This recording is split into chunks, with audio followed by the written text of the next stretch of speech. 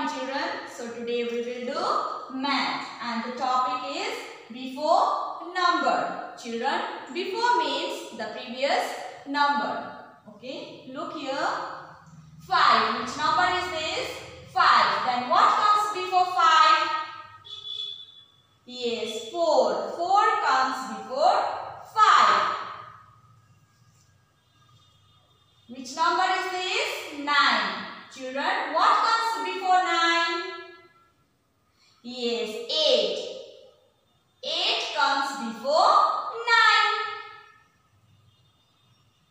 9. 3. Which number is this? 3. Then what comes before 3?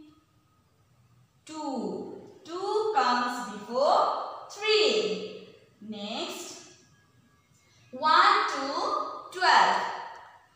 What comes before 12? One 1 11 comes before 12. Next, 18. 1, 8, 18. Then what comes before 18? 1,